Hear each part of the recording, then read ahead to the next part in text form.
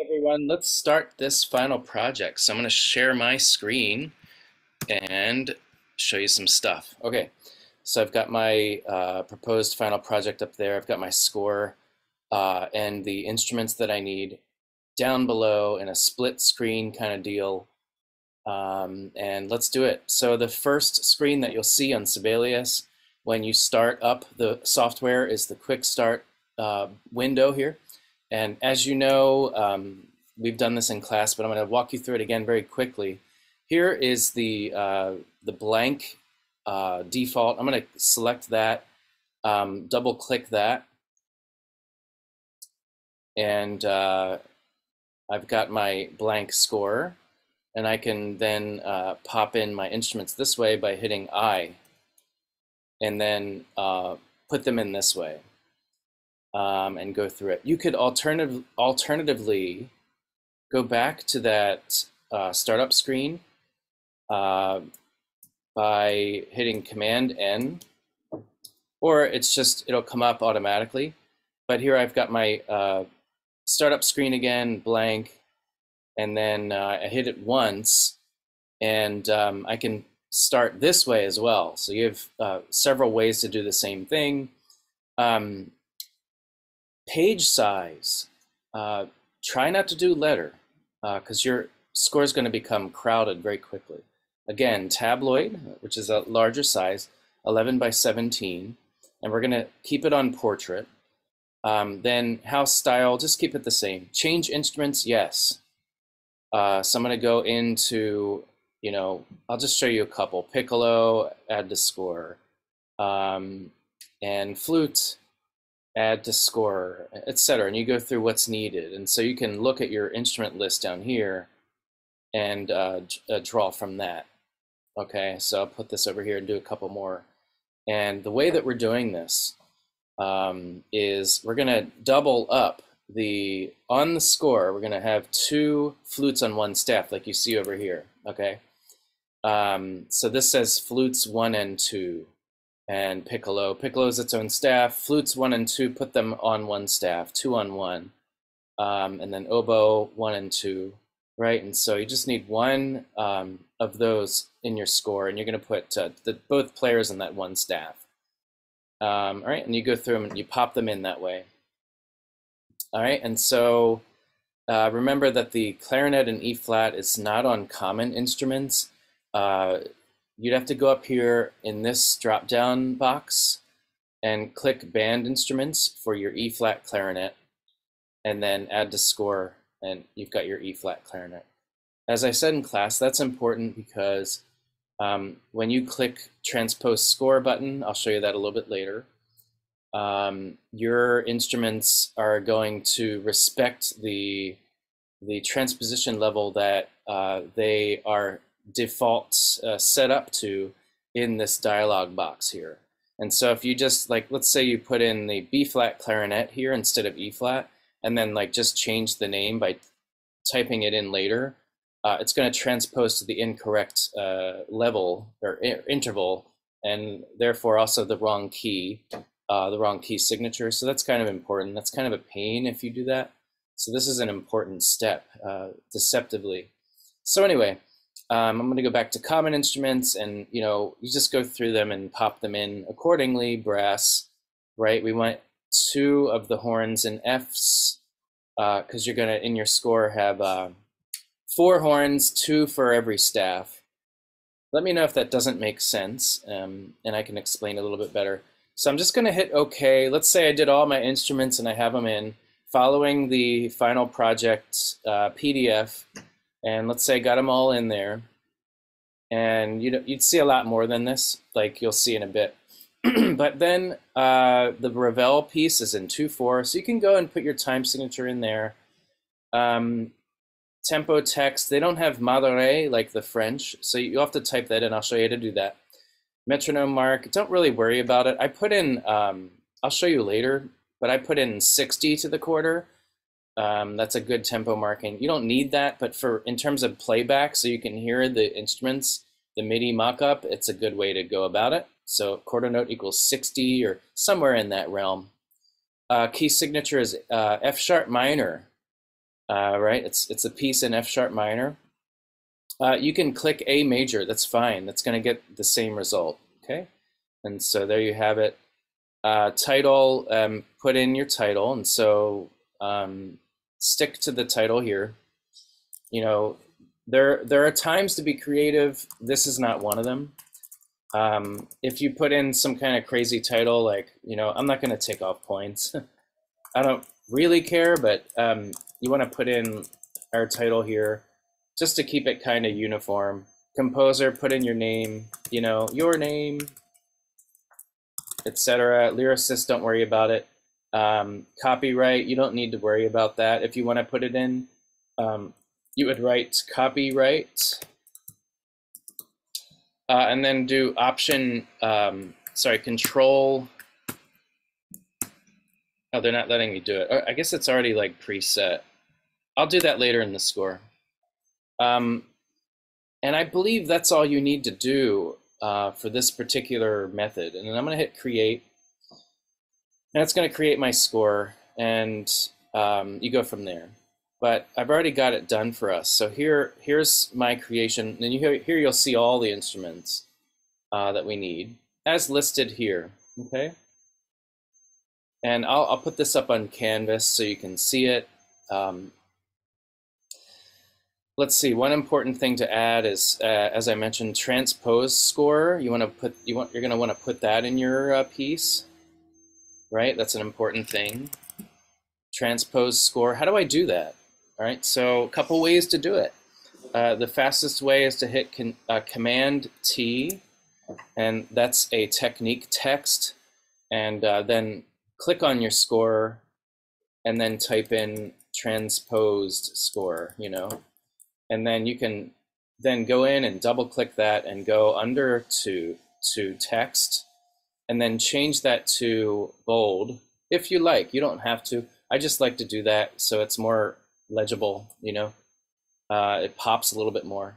Transpose score. You can even change the size. The size that is here is 5.5, but uh, you know if you want it even more uh, legible, you can you can just hit this uh, up arrow, increase the size of that font. That's a little too big, I think, but uh, hey, you know, you can also go in the box and type in a, font size you want.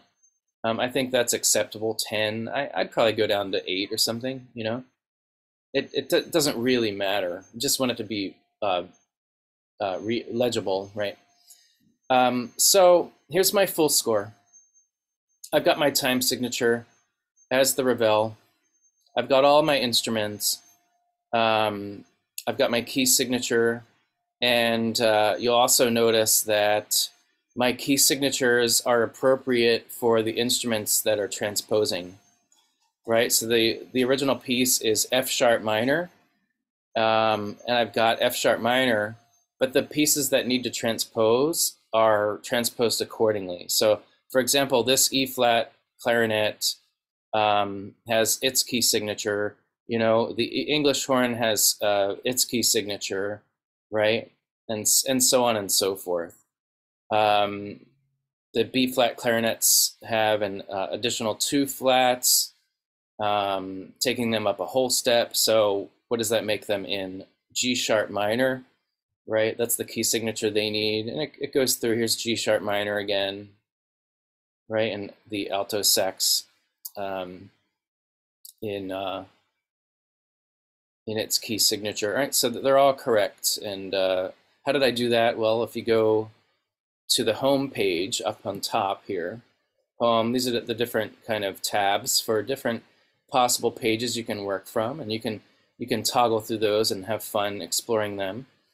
Um, but on the home page, all you have to do is click transposing score, and uh, it will transpose your instruments uh, as necessary. So the English horn um, you'll see that change, and the clarinet in E flat 2 change to, uh, this is the C score, uh, or concert pitch score, non-transposing, and then if I click transposing, it takes me to where I need to be, which is our transpose score. So just remember to click that transposing score button on the home page and you're good to go. Now it makes the English horn um, in C sharp minor uh, a fifth up from written, which is F sharp minor. So English horn, if you remember, uh, sounds a fifth lower than written. And so if they're written in C sharp minor, they're going to sound F sharp minor, you know, and so on and so forth for the, the clarinet and E flat. All right, and uh, all these instruments. So that's good to go. The other thing I want to tell you about is uh, we selected um, one flute, but we've got two players on that single flute staff, right? We've got two players. They're going to be um, sharing a staff, not sharing instruments. That's important to know. So there's going to be, um, in this score that you're creating, in your imaginary orchestra, um, there's going to be two flute players, two flute players um, playing their respective parts. They're just reading, well, they'll, they'll be reading from their own parts, but on the score, we pair them up. And so they're both on this staff. And so a little bit about how to notate that. When you first see your score after you create it, it's just going to say flute. And so what you need to do here, uh, which I've already done, is double click the name of the instrument and change it to flutes one and two. And so when you start your score, it'll just say flute, all right?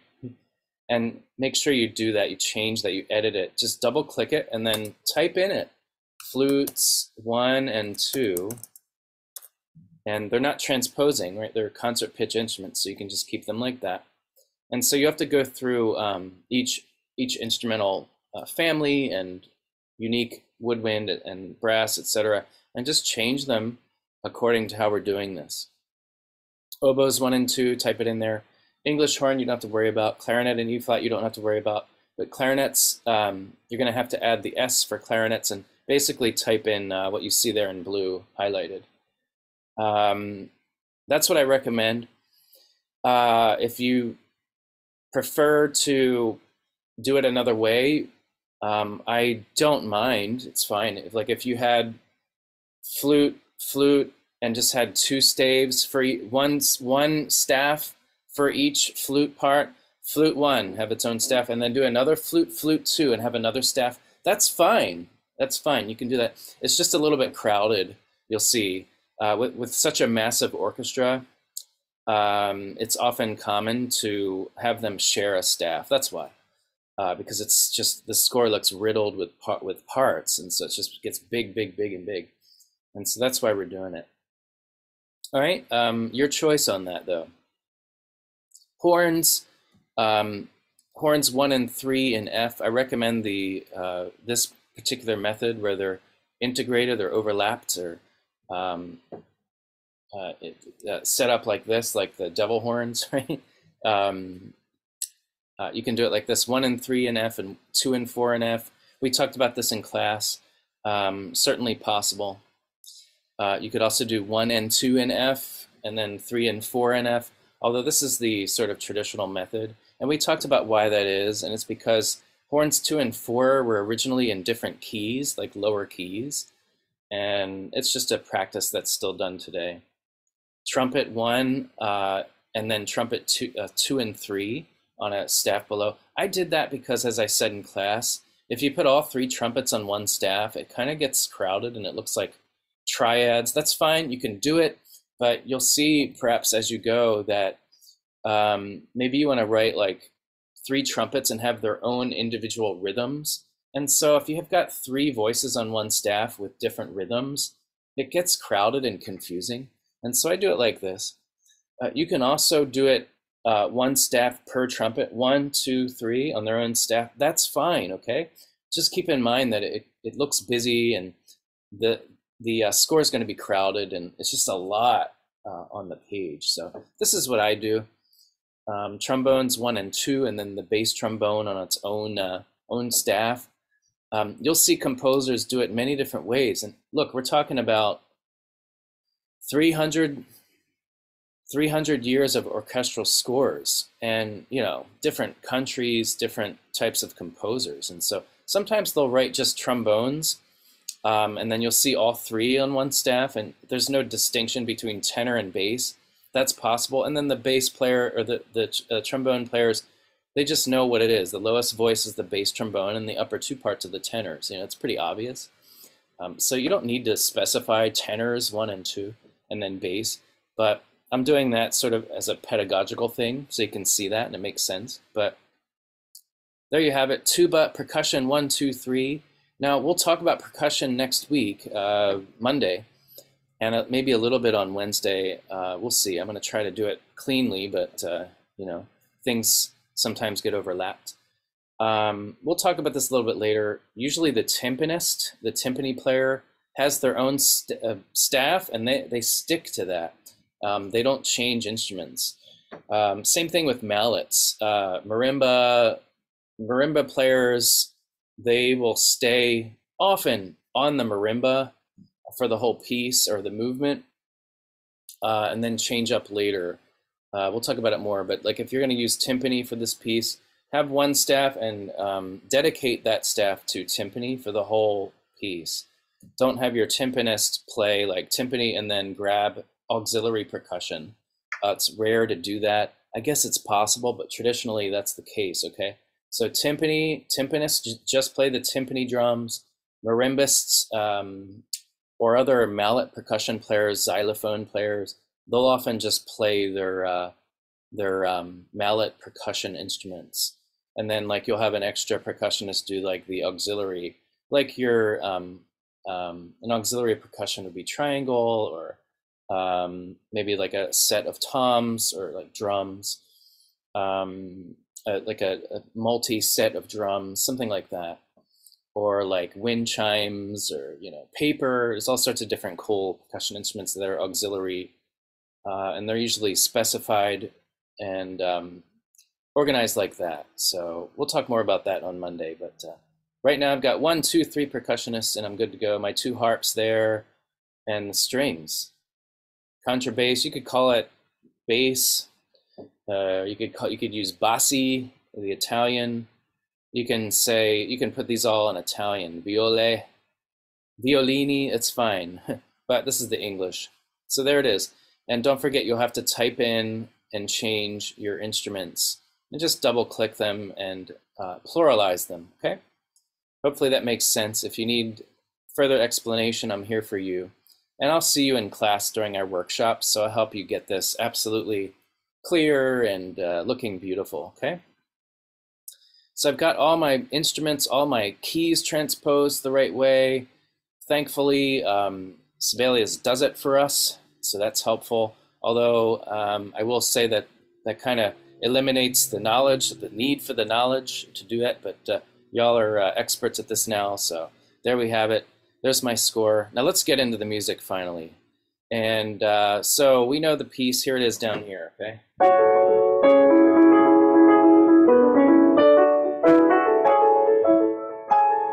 Beautiful, beautiful uh, classic Ravel. Gotta love that. Uh, the melody is in the outer parts here.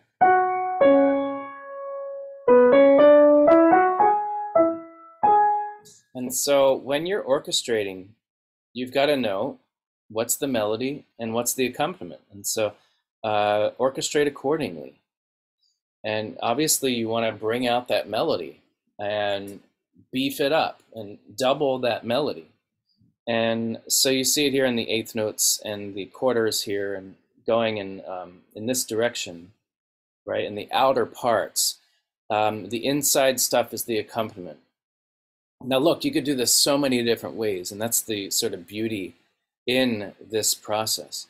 Um, and the other thing I want to say is uh, we want to respect the original, okay? Uh, I made an, an, announcement about it because it was brought up in class. Um, hey, the question, could I get creative with this and like add measures of content or or add to this, uh, extend the tertians out, extend, you know, put a put a 13th chord above all this. And no, don't do it. Uh, don't even think about it. Uh, while I love that kind of creativity and like inspiration, uh, this isn't the time or the place for that. Do that in your own piece. Uh, this is Ravel. We're not adding to it. We're not adding measures. We're not adding 13th chords on top of it. No, that's that's another context. Do that elsewhere. Uh, we're going to keep this uh, to the T, to the to the R for Ravel, if you will. All right, so just um, you're arranging the original. You're not creating uh, a composition on top or based on the original. That's that's another class. We've got to keep it as is and try to evoke the music that you see here uh, to the best of your ability. Um, okay, so we're trying to evoke Ravel, get to the essence of Ravel as best we can. We're not Ravel, okay, uh, but we can certainly try to be and enjoy the process. So what did I do? What did I do to try to evoke the piece? Hey, you could do it a bunch of different ways, and that's that's the challenge and the beauty in this. That's the art. And I I decided to do uh, soprano saxophone and bassoon on that opening line, and so you can hear that. I did these two instruments. I I love them both. They're gorgeous, and I thought that doubling would be effective because um, you get like the they're both reed instruments, and I think they complement one another very effectively in this register. Um, this register for the soprano saxophone is uh, just perfect. It's on the staff. Uh, it's between the F and the F, as we said in class, which is the most comfortable range, uh, that two octave range that was mentioned. Um, bassoon, uh, it's a little bit higher in its register, but um, it's it's still going to have that reedy quality. Um, it's going to project in that register. It's not quite as high as the rate of spring, so you know it's not up here. It's it's going to sound really good. Nice and projected, and the two together are going to create a special, uh, distinctive uh, blend um, that I would love to hear. And so, well, let's hear what the MIDI does at least. That's all we've got at the current time. Here it is.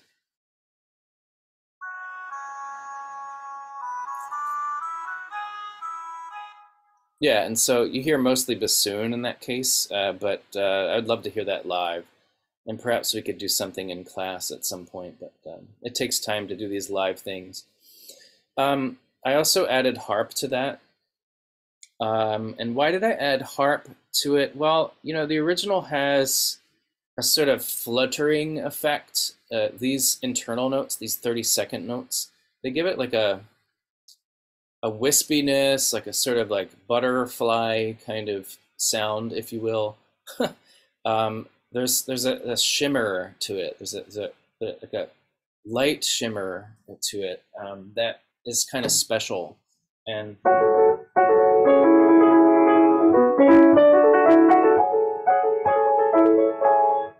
Um, I wanted to kind of evoke that. And so the shimmer effect, this tremolo, um, glitter, if you will, you know, whatever word you want to use. Um, I wanted there to be like a, uh, a fluttering effect. And so I thought the harp would be great for evoking that tremolo. And so what I did in the harps, um, well, first of all, I doubled the, I doubled the melody in harp one. So harp one's gonna,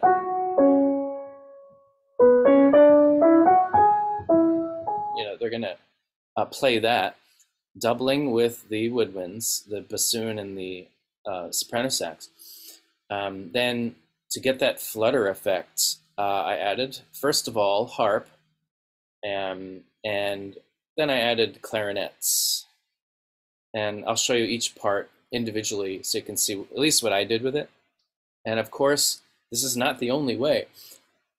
It's just uh, what I decided to do at the given time to evoke this uh, this flutter effect. And so harp two is going to be um, alternating hands. So the they're going to be playing that third just like this, uh, alternating on either side of the instrument. And so here you get the C sharp A and then C sharp A, and it just goes through the uh, 30 seconds accordingly.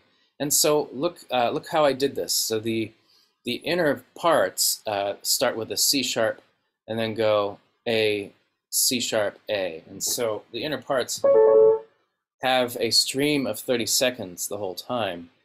And it doesn't quite look like it in the piano score because you're doing, it's sophisticated, it's Ravel. And so you get this first 30 second in the left hand. And then the second um, sorry, the next three are in the right hand.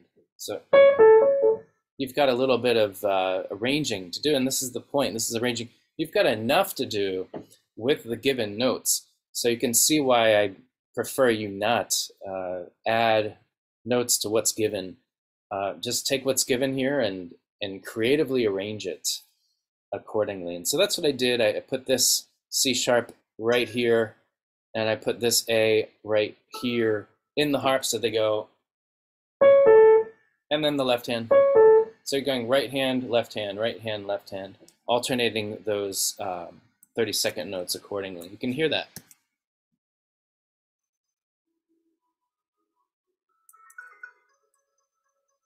Okay, and that's pretty much how that's going to work out. And um, yeah, the two harps together. Hopefully you can hear this.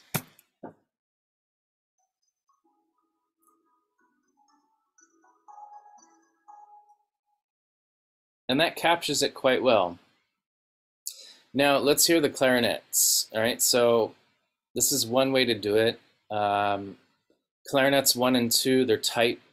Um, they're stand partners, so they're they're going to be um, uh, well knowledgeable, uh, informed, very well informed as to who's playing what, uh, who's playing each part, and so I split them uh, across the whole line.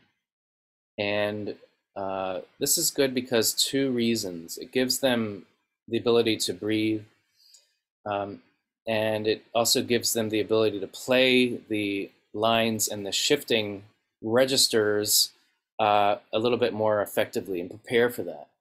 Although I, you know, you could take this whole line and put it into the first clarinet. I'm sure to be okay. Uh, but I decided to stagger them. And uh, so I had, the, you can see the colors here. I'll show you how to do that, but I just want to explain it first.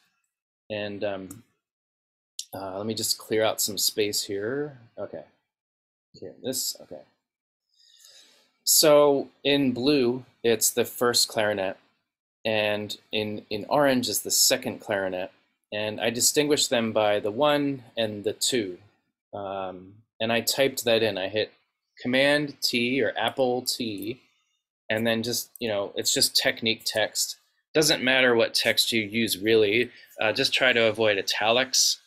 Um, italics are usually for foreign languages like Italian or in this case French. So um, yeah, that's it. And just put them in and that tells the players or the, the conductor who's using, using this score, oh, the first clarinet's going to play the top part with the stems going up, and then the, uh, the second clarinet's going to play the bottom part with the stems down. I guess you could call it the soprano clarinet and the you know alto clarinet, if you will. Clarinet one, clarinet two, and uh, that's what we did. And I just alternated them uh, based on the change of the pattern. And basically, I, um, if there was a change in the notes, um, I just gave it to the other player. So here you get all the same notes, the same third, and then here you get a you get a different third, and so I give it to the other player, and just alternating what the notes, what the groupings are to the players. So if there's a different pitch grouping, I just swapped them. So a different pitch third, I gave it to the other player. Here's another third tremolo, so I gave it to the first player, etc. Here's another third, and so I kept it in that player because it's consistent. But you could do it any number of ways um, within, you know, reason. You know.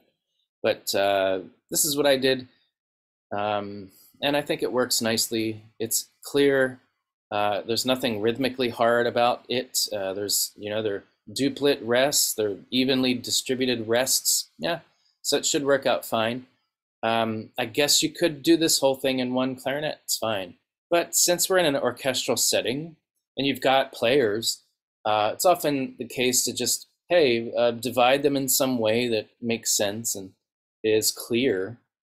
Um, you know, I wouldn't divide it like across half of a beat or give them like something like this where they have like uh, an eighth note and a 32nd or some kind of weird division or strange uh, obscure or obtuse uh, division. Uh, um, keep it pretty clear and kind of evenly, equally divided across the measure. And so I think this is a good way to do it, and you can hear that.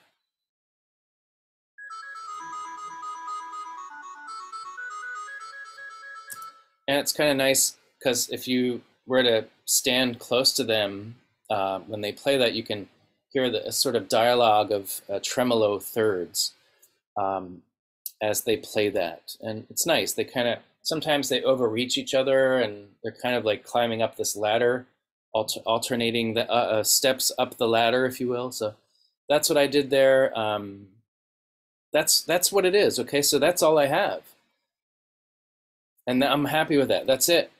Um, that's how I would orchestrate, right? Less is more for sure.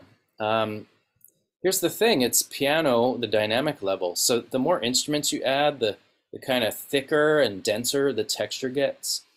Um, and subsequently, often the volume increases uh, or the, the mass, there's more mass to the sound.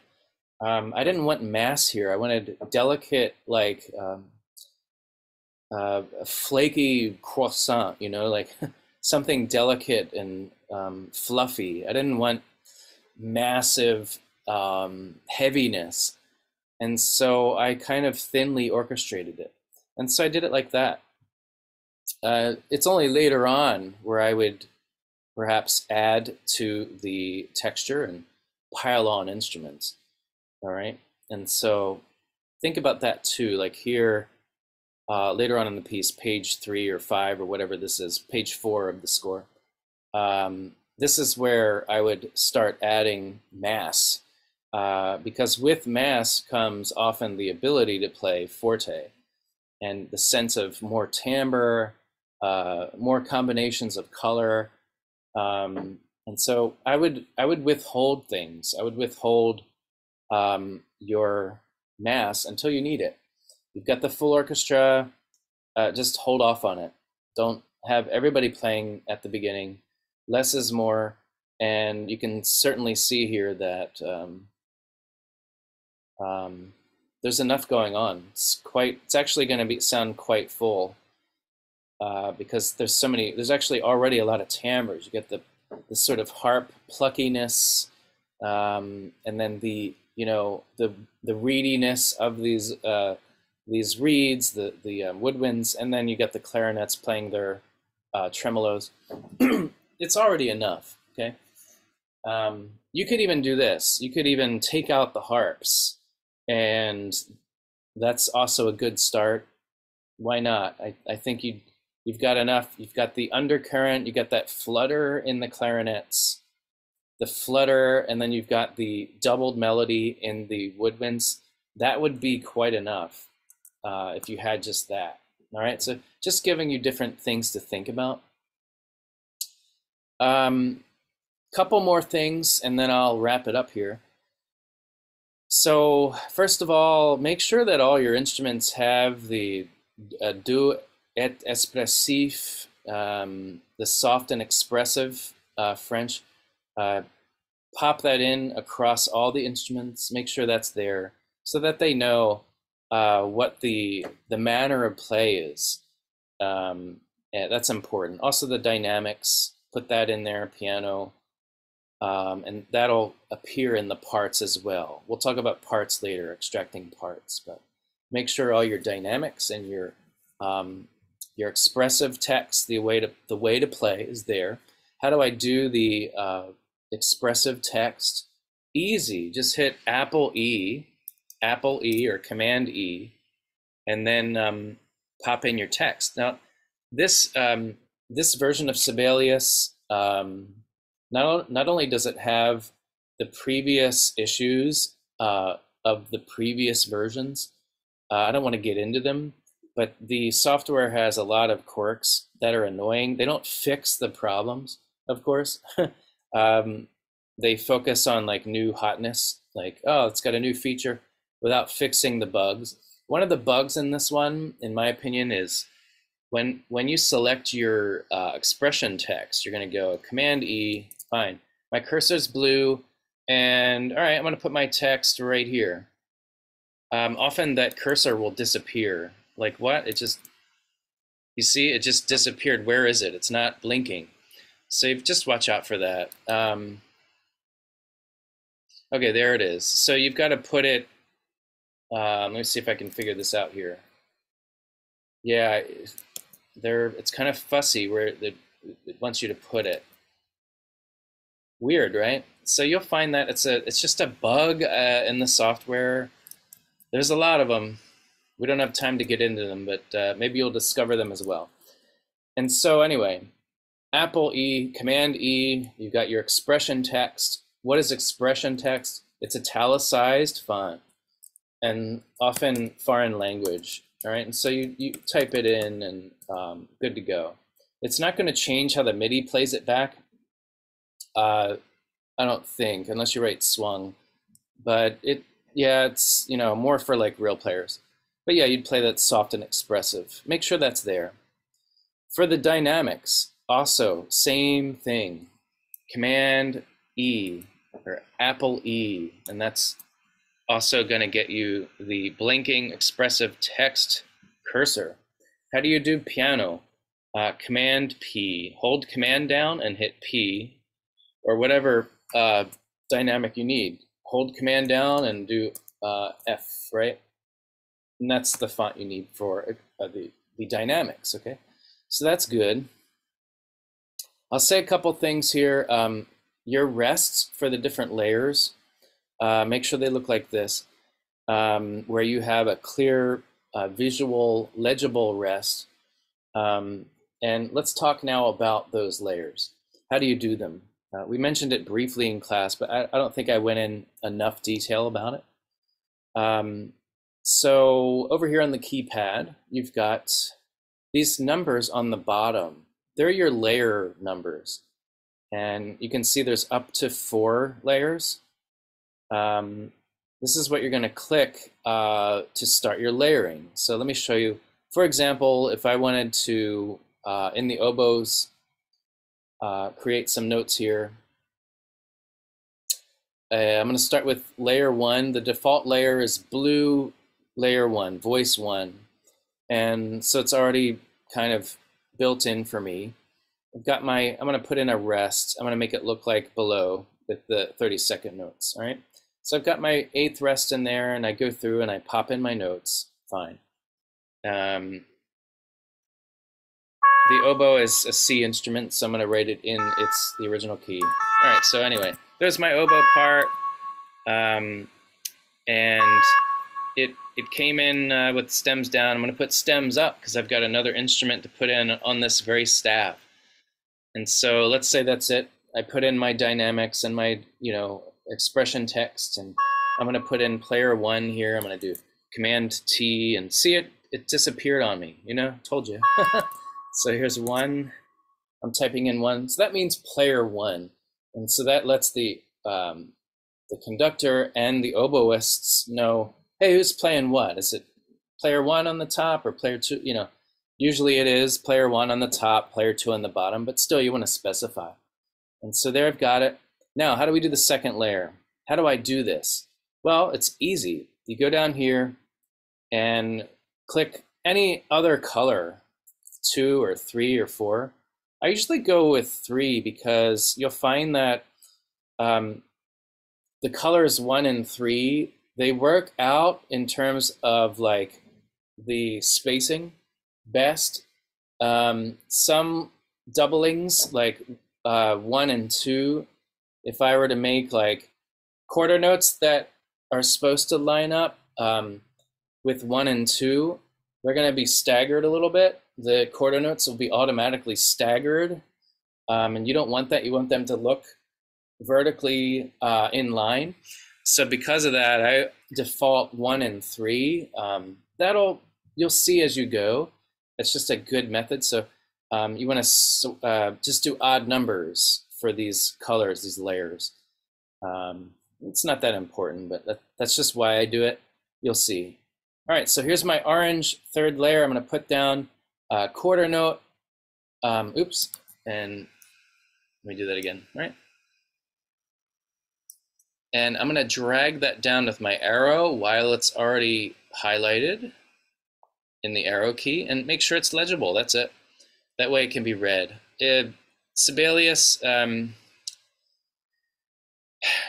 it's, uh, I hate to say this, but it's not always that intelligent. Um, other software like Dorico is the default for layers. Um, it's going to have the, the, two uh, rest or notes, they're going to just collide. And why would it do that? You know, it's like, dude, fix the old problems. You know, they don't fix their old bugs. Anyway, this isn't my soapbox episode here, so I'm just going to move on from that. You have to drag it down to make it legible, which is very annoying, but that's how it is. All right, so then here's my second layer, okay? And this is oboe 2. And so oboe 2, oboe 2 is going to be on the G sharp and the E.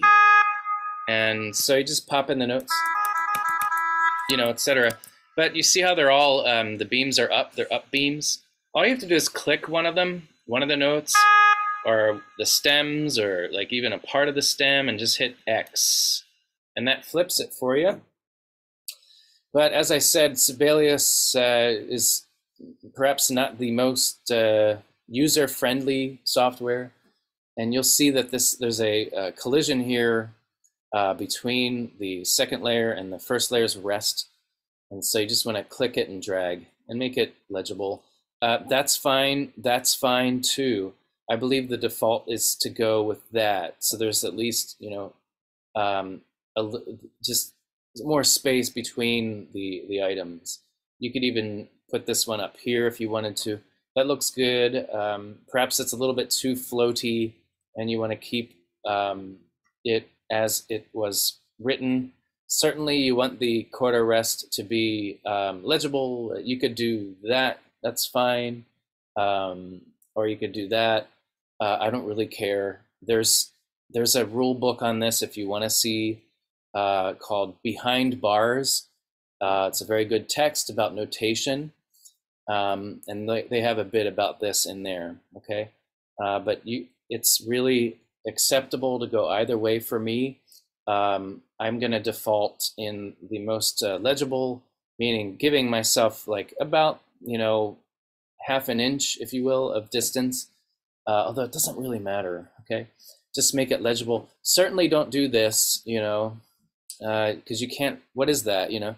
So you've got to at least do that, maybe one more, you know, they're both the same, right? Try not to do that, right? So just having fun with it, okay? So that's how you do your layers. And now I've got my layers and I just need to put a two here to make sure that it's clear. See, it disappeared. Very annoying. I might just click the note and then hit the Command T and then hit two and, and then drag it around. And, and your two and your one, just put them kind of near where the notes are um, you know, don't obviously, it's going to automatically like avoid a collision because it's got magnetic layout. That's sort of Sibelius's uh, cash cow or their, their claim to fame, you know. Uh, so if you drag it, it's going to automatically not collide with the note. So it is there. That's one thing that's smart, but others aren't so much. The layers kind of suck. I wish they had magnetic layout for the layering, uh, but they don't. Anyway, you want to put your one somewhere near the note. Certainly don't put it out there um, or you know out here. It's right within reason, and so that's reasonable. Uh, you know, to the left of the start of it, that's reasonable but less legible. You know, it, that's less legible. You know, put it up and all the um, all the details, the dynamics, the expression markings, the numbers for which player plays what for the upper layers, they're going to go above, right? And then all of the, the details, the numbers, the expression, the dynamics for the lower part, player two, they're going to go below. And so you can see that here. All of my player one content is above, and all my player two content is below, okay? So that's important to know. All right, hopefully this is uh, effective knowledge for you and helpful. I'm just going to delete that because I don't want them playing yet. but certainly you could, okay? And I want you to really enjoy this and uh, explore your creativity in evoking this Ravel uh, to the best of your creative ability, okay? Without adding and uh, creating a new composition. right? We want to express the Ravel uh, very clearly and explicitly. This is one way to do it. Okay, so I believe that's all I want to say. Um, maybe give you a couple ideas uh, about how to do, how to start this beyond what I've already given you. Um, as I said, less is more, but this melody here,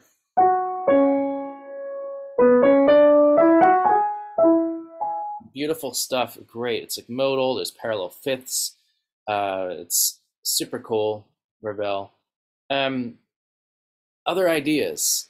Uh, gosh, strings playing that melody, violins. You could have um, solo violinists with trumpet solo. That'd be great. Um, flute and oboe is good.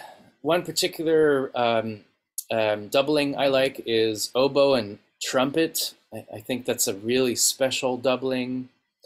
Um, you might do oboe and uh, English horn for that melody. Uh, gosh, a lot of potential horn. Let's say horn and clarinet and solo. That'd be great. Um, if you do horn and clarinet um, you're to want to write solo on the horn part so they know, or, or put one that's acceptable. I mean, it's, it's pretty clear what the melody is and who's bringing it out. One thing I want to add to this is that very detail solo um, and um, you typically put it like that. You can put a comma after the solo. You don't have to, but Okay, solo.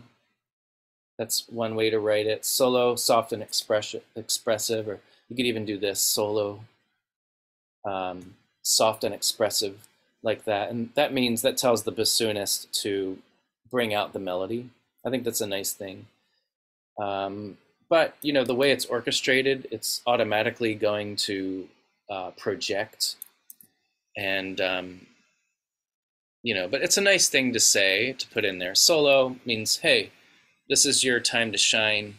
And they'll play it with a little bit more expression uh, and um, individuality and uh, in a unique way, perhaps, uh, with more expression. That's a nice thing. That's going to make, take this, it's going to like fine polish this and take it to the next level. Harp, you could also put in solo.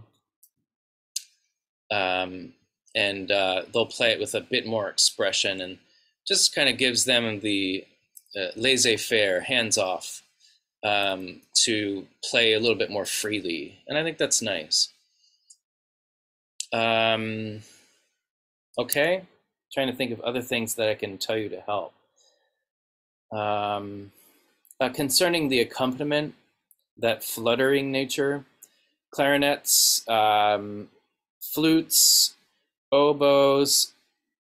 Um, they all work nicely with a tremolo.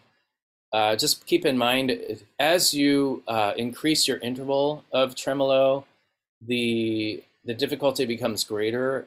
The sound wave gets bigger, or there's more of a difference between the sound waves, so it becomes more like awkward but the thing about it is these tremolos are all thirds. So thirds work beautifully as tremolos on woodwinds, any of them. Uh, I guess certain ones maybe not as easy as others, but you'd have to ask the player. But I think they're pretty good. And the way I did is I staggered them enough so um, it's uh, distributed nicely, I, I believe. Um, uh, yeah, you could do some kind of tremolo in the strings. That would be nice uh, where they play the actual third fingered tremolo on that. Just write out 30 second notes uh, in the uh, in the strings. It's fine. That'd be nice. Maybe something with like uh, sordino mutes, right? That'd be really beautiful. Uh, harp's great. You can steal that idea. That's fine. It works. Uh, maybe something in percussion. I don't know, like marimba playing the 30 second note um, uh, a fluttering sound uh, with like a snare drum brushes. Uh, you know, you can feel free to totally get creative with it, but don't change the notes. Don't add to the notes, just what's there. I want the notes and rhythm that you see on the Ravel. All right, so um, what else could you do? Anything in the brass? Um, sure. Maybe the melody in trumpet and trombone, tenor trombone. And then chords, uh, some kind of like sustained uh, chords under here.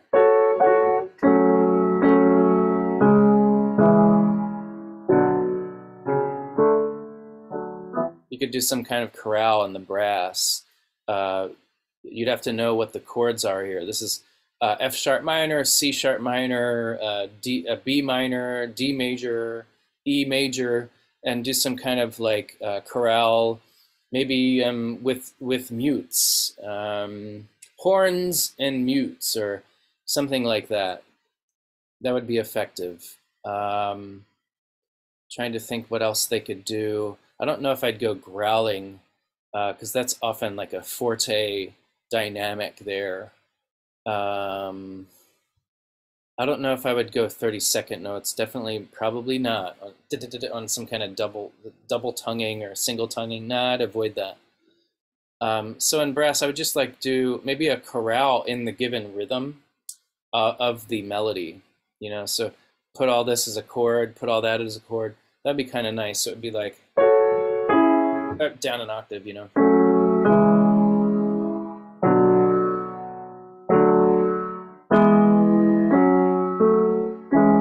Something like that would be nice in brass. All right, so you do the same in uh, saxophones. Uh, saxophones are very good at the tremolos. So you could put this kind of idea in the uh, inner saxophone parts, tenor and alto, and then soprano and uh, baritone could play the melody, you know. Lots of different ways to do this, okay? I'll leave it at that. Uh, if you have any questions, please contact me via email or see me after class. Uh, the next few classes, I'll do my best to uh, provide further ideas about how to orchestrate this. And um, I also want to point your attention to some of these additional chapters that we didn't exactly get to there's just a lot to do in orchestration, right? And I wanted to make sure you heard the instruments and uh, uh, all of us, all of us students had a chance to uh, present. Um, and what better way to learn than present and also uh, get practice in uh, presentation skills and all that. But uh, here, these chapters, scoring for strings, scoring for woodwinds and brass, they're very good. Um, but especially chapter 15, scoring for orchestra and the preparation of score and parts. These are good. They're going to help get you geared up. And um, I will be presenting uh, just some details about that here and there over the next uh, couple weeks uh, to help you uh, in your scoring process, like ideas about how to how to do these things effectively. Okay. And of course, uh, I'm here uh, the whole time. So if you have any questions, let me know. And I look forward to seeing your awesome arrangement of this beautiful piece. Do listen to it a lot first. It's my suggestion. Um, make sure you listen to it an awful lot. Put it on loop and listen to it and uh, get to know it really well. Make sure that you're always bringing out the melody. That's number one. Uh, number two would be the internal accompaniment um, right? And so plan that way. You might go through the whole piece, highlighting the melody um, at all times, and then uh, starting there, and, and then fleshing out your score um, uh, afterwards. Um, so yeah, I will. Uh, I will see you in class, guys. Take care and uh, happy orchestrating. And uh, yeah, that's it. Bye.